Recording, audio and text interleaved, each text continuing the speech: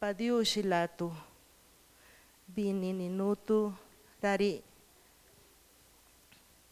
Pues muy buenas tardes a todos, a la comandancia del Ejército Zapatista de Liberación Nacional, al Congreso Nacional Indígena, a todos los hermanos y hermanas que se encuentran aquí presentes en esta tarde.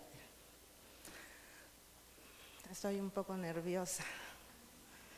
Bueno, mi nombre es Beatriz Gutiérrez Luis, vengo de la comunidad de San Mateo del Mar, pueblo Icots, en el sur del istmo de Tehuantepec. En San Mateo del Mar es donde recientemente tuvimos el primer taller sobre el impacto de las empresas transnacionales a nivel nacional en el mes de noviembre en 2011. Y pues yo vengo ahorita a hablarles de los problemas que tenemos en la comunidad. Nosotros tenemos varios problemas. Uno de ellos es el problema de las empresas eólicas, el otro es el problema agrario, el problema interno municipal y el problema también del plan transísmico. Sobre el problema de las empresas eólicas, pues como San Mateo del Mar es uno de los pueblos que las empresas eólicas tenían planeado para su negocio y que en todo el istmo San Mateo del Mar fue el único pueblo que dijo no al proyecto eólico. Nuestros demás compañeros, bueno, también San Francisco del Mar es el otro pueblo que también es Icots. El pueblo de San Dionisio del Mar, sin previa consulta, les impusieron el, el proyecto. Santa María del Mar también aceptó, que somos los cuatro pueblos Icots que vivimos ahí en el istmo. De este problema, San Mateo del Mar, a pesar de haber dicho que no al proyecto eólico y que en, el año de 1997 supuestamente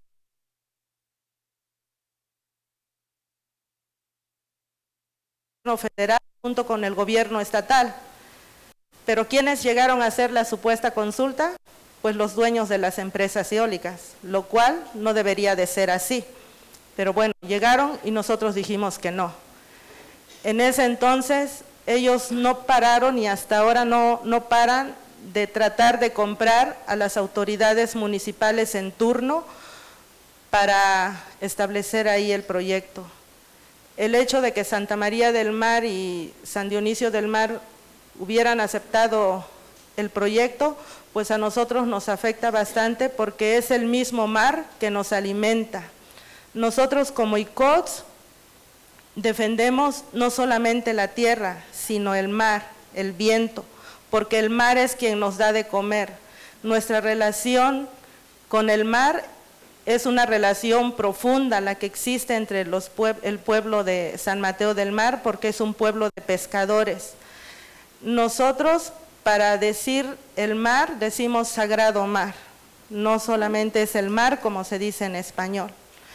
Y, este es el sagrado mar que nos alimenta y entonces nosotros decimos, pues aunque sea un platito de camarón, siempre hay para comer. Pero el hecho de que fueran a poner los aerogeneradores en esa parte de la franja del territorio de Navarra Santa Teresa, pues eso iba a ocasionar que nuestras lagunas se secaran. Eso pareciera para las empresas eso no es un impacto fuerte, porque ellos estarían llenándose de ganancias sus bolsas y en cambio nosotros tendríamos, como ya lo dijeron acá, pues un proyecto de muerte. Lo que para las empresas y el gobierno estatal, federal es desarrollo, para nosotros es muerte. Nosotros defendemos el viento porque desde nuestra lengua, desde nuestra cosmovisión, tenemos diferentes formas para nombrar el viento desde decir el sagrado viento, el viento suave, Nepepep, Nangajien, el viento fuerte, el viento más fuerte, el viento viejo y el viento travieso, de esas que cuando uno anda caminando y trae su falda, te lo alza. ¿no? Entonces, pero aún todas esas distintas formas que tenemos de nombrar el viento, eso es lo que nos hace diferente, eso es lo que nos hace ser otro, otra cultura, otra forma, pero dentro de todo pues somos iguales. Por eso nosotros defendemos la tierra, defendemos el viento y defendemos el mar, porque de ahí vivimos, de ahí. Un, un sin mar, pues pierde su esencia de ICOTS. Un campesino sin tierra, pues no es nada, no es no es campesino. ¿Cómo va, a vivir, ¿Cómo va a vivir un campesino si no tiene la tierra? ¿Y cómo vamos a vivir los ICOT si no tenemos el mar?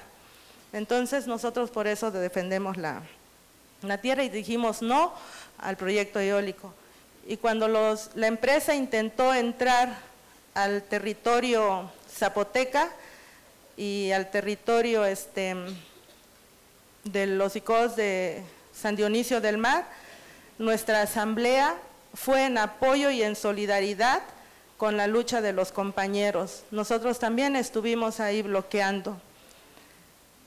En el problema agrario, pues nosotros sabemos que desde la invasión española, pues nuestras resoluciones este, primordiales, pues en algunos casos desaparecieron, se lo robaron.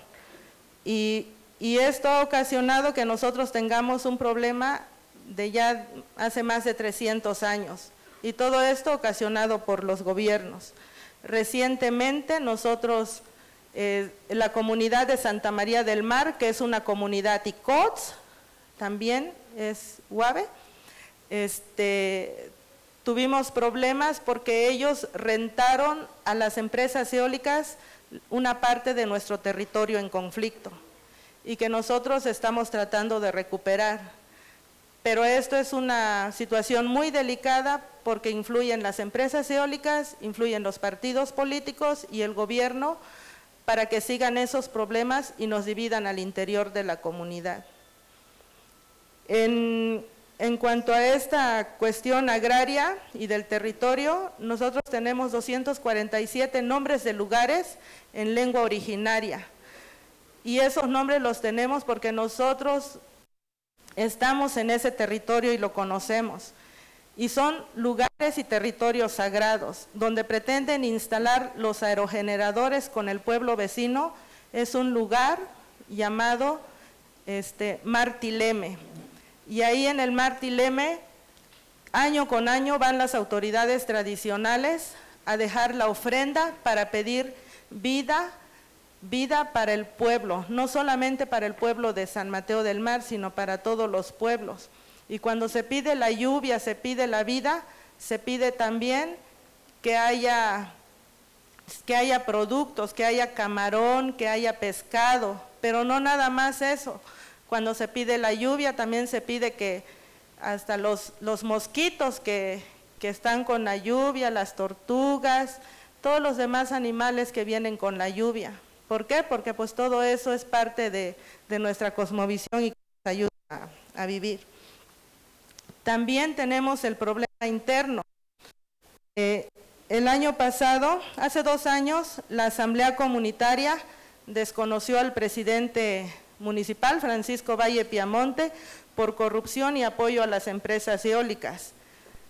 Eh, a pesar de que la Asamblea desconoció al presidente municipal, él no obedeció el mandato de la Asamblea y se impuso con el apoyo de los partidos políticos.